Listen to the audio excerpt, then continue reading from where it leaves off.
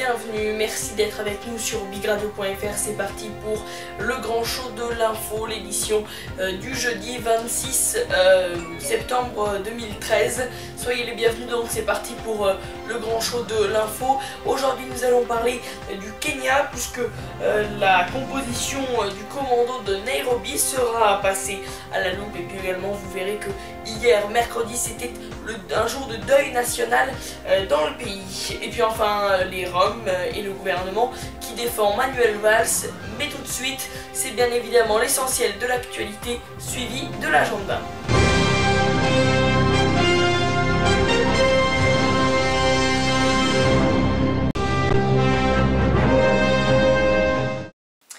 Et on commence donc euh, par euh, l'actualité de la semaine pour tout savoir euh, sur ce qui s'est passé pour ce début de semaine, hein, de lundi à mercredi, à commencer par l'actualité du lundi et les Bleus de Tony Parker qui n'ont fait qu'une bouchée de la Lituanie 80-66 dimanche soir en finale de l'Euro de basket. les Bleus qui se sont donc réunis d'ailleurs hein, lundi soir à Paris pour célébrer tout cela aux côtés du président de la République. Euh, la chancelière allemande Angela Merkel restera ferme sur l'Europe. Elle devra former une coalition avec les sociaux-démocrates du SPD, puisque dimanche c'était élection législative en Allemagne. Sa politique euh, européenne ne changera pas, c'est elle qui l'a déclaré. Elle a été élue à l'Assemblée allemande avec 311 sièges. Euh, Sephora a été condamné lundi à baisser le rideau de son magasin des Champs-Élysées la nuit. Un jugement emblématique. En tout cas, les personnes à être satisfaites de ce jugement sont les syndicats, les vendeuses étant elles déçues. Euh, François Hollande s'exprimait mardi à la tribune de l'Assemblée Générale des Nations Unies, l'occasion pour le président français de donner la position de la France sur les différents sujets chauds du moment, mais surtout euh, une manière pour le président de la République de demander une intervention forte de l'ONU dans tous les domaines.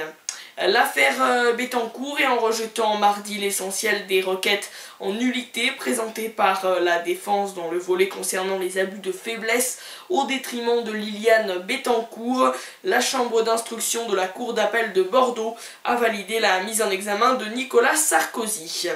Noël Mamère claque la porte d'Europe Écologie Les Verts. Il a pris ses distances à plusieurs reprises. Cette fois c'est fait, il claque la porte.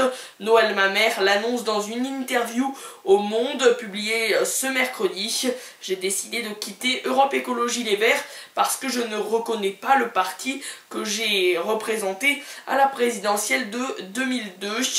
Et puis PSA Peugeot Citroën qui s'est euh, engagé ce mercredi matin à ne pas fermer euh, l'usine euh, en France d'ici 2016 mais aussi à y réaliser, excusez-moi, euh, pour 1,5 milliard d'euros d'investissement industriel.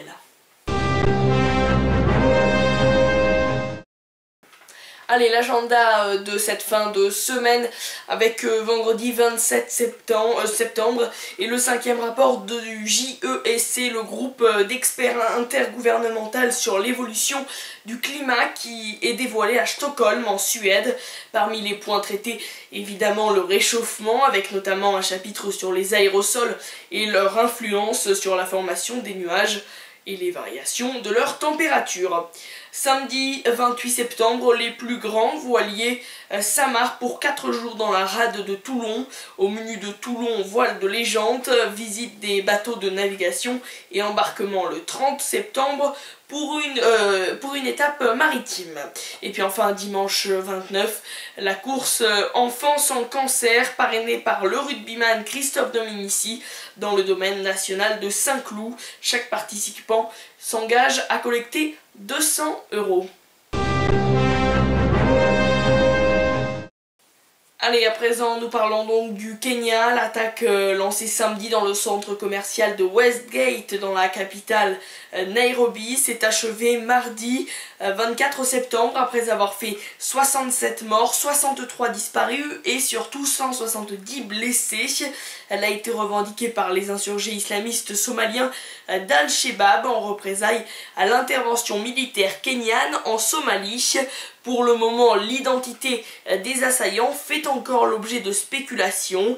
D'après les autorités kenyanes, 5 sont morts et 11 suspects ont été arrêtés pour interrogatoire. Alors, y a-t-il des Somaliens de la diaspora? En tout cas, les listes qui circulent sur le web, qui font état de 12 à 19 membres dans le commando, reprennent les noms publiés par le compte Twitter HSM Presse 2 désormais fermé qui se revendique euh, proche des Shebab sans en être la vitrine officielle. Six Américains, deux Britanniques, deux Syriens, un Finlandais, un Russe, un Daghestan, un Canadien, un Kenya, un Suédois et deux Somaliens sont régulièrement mentionnés, âgés de 20 à 27 ans. Beaucoup ont des noms à consonance somalie, ce qui les apparenterait à la diaspora de la Corne de l'Afrique. Mais la, personnalité qui intrigue le plus les observateurs et sans conteste Samantha Lewaite. Euh, la police euh, kenyane a donc déclaré étudier des informations sur cette citoyenne britannique impliquée dans l'opération. Des otages euh, ont en effet signalé la présence parmi les terroristes d'une femme à l'accent britannique, une donnée confirmée par la ministre des Affaires étrangères kenyane, Amina Mohamed, dans l'émission News Hour de la télévision américaine PBS. Âgée de 29 ans, euh, Samantha Lewaite aurait déjà commis des actes terroristes similaires à de nombreuses reprises, selon la diplomatie.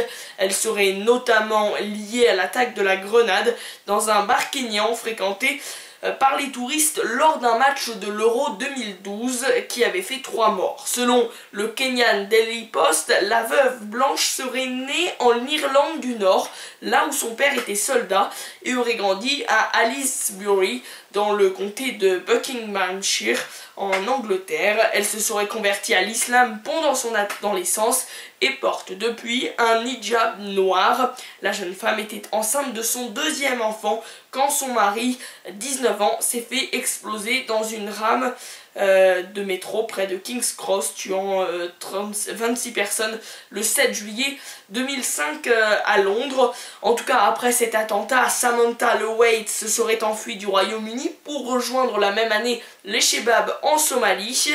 Elle est recherchée par la police kenyane pour ses liens présumés avec une cellule terroriste qui a planifié des attentats à la bombe. En tout cas, les Shebab nous affirment pour leur part qu'aucune femme n'était impliquée dans l'attaque. Euh, et d'après le Washington Post, les assaillants de Nairobi communiquaient en anglais. La ministre des Affaires étrangères kenyane a également évoqué la présence dans le commando de Nairobi de plusieurs Américains. En tout cas, si l'identité des assaillants cités par le compte Twitter HSM Press 2 est confirmée, il y a fort à parier euh, que, la, que la, Shabab n'ont pas organisé seule l'attaque, estime Dominique Thomas, chercheur à euh, le HESS. Et dans un instant, on parle toujours et encore du Kenya avec ce deuil qui continue alors que donc la recherche des corps se fait toujours.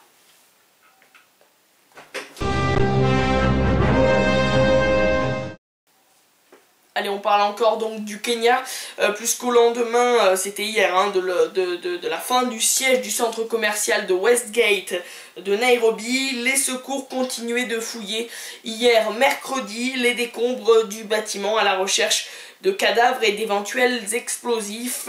L'attaque euh, lancée samedi, revendiquée par les euh, insurgés islamistes, a coûté donc la vie à au moins 61 civils. Et pour soutenir les secours, des chiens renifleurs ont été envoyés sur place, ainsi que des experts en explosifs et en robots démineurs téléguidés. La police kenyane craint en effet que les Shebab aient euh, dissimulé des bombes dans le dédale de magasins du centre avant la fin du siège. Des coups de feu ont également été entendus à Westgate, mais la porte-parole du gouvernement s'est voulu rassurant, affirmant que les forces de sécurité tirer avant de pénétrer dans les boutiques ou les zones non visitées afin d'être certain de ne pas tomber en embuscade. Mais il n'y a eu aucun tir depuis plus de 36 heures de la part de terroristes, a même ajouté le gouvernement euh, kényan. De son côté, le Foreign Office à Londres a indiqué qu'un ressortissant britannique avait été arrêté à la suite d'une prise d'otage. selon le Daily Mail, il, s'agirait d'un homme de 35 ans d'origine somalienne arrêté à l'aéroport international Jomo Kenyatta alors qu'il s'apprêtait à quitter le pays à bord d'un vol de la compagnie Turkish Airlines. Une source de la brigade antiterroriste du Kenya euh, a, confirmé l'information, précisant que l'homme était actuellement interrogé. Voilà ce que nous pouvions dire aujourd'hui euh, sur la situation au Kenya. En tout cas, on va bien évidemment en savoir plus dans les prochains jours et dans les prochaines semaines.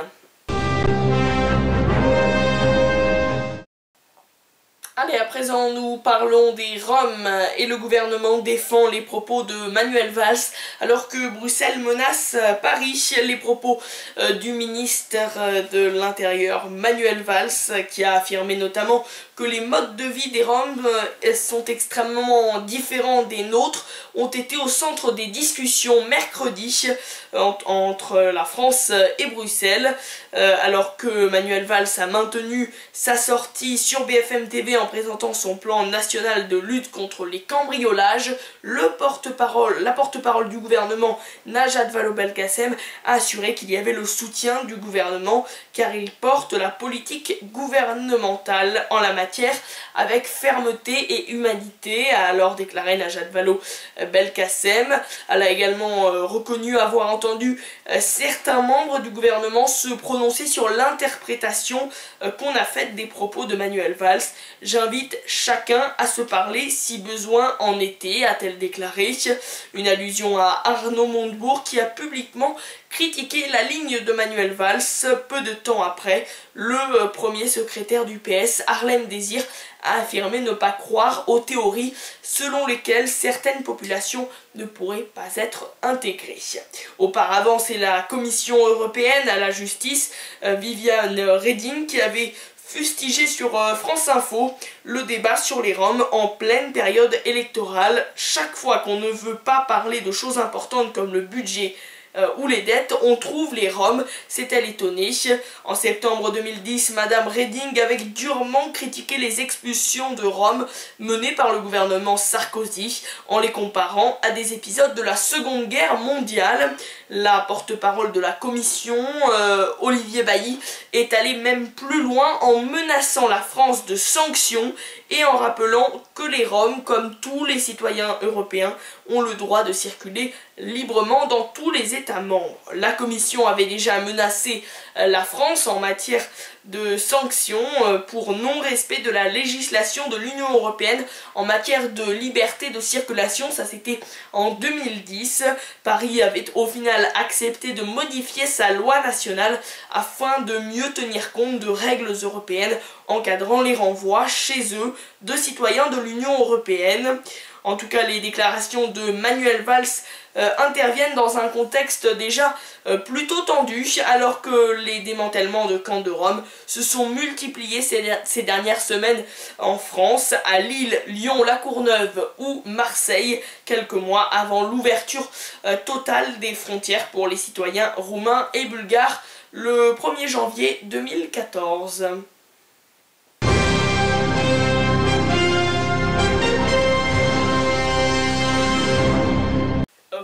C'est la fin de cette émission. Merci à tous et toutes euh, de l'avoir suivi. En tout cas, je vous donne rendez-vous dimanche pour une euh, toute nouvelle édition euh, du Grand Show de l'info pour revenir sur l'actualité de cette fin de semaine. bonne soirée à tous, bonne journée à tous et à dimanche sur Big Radio.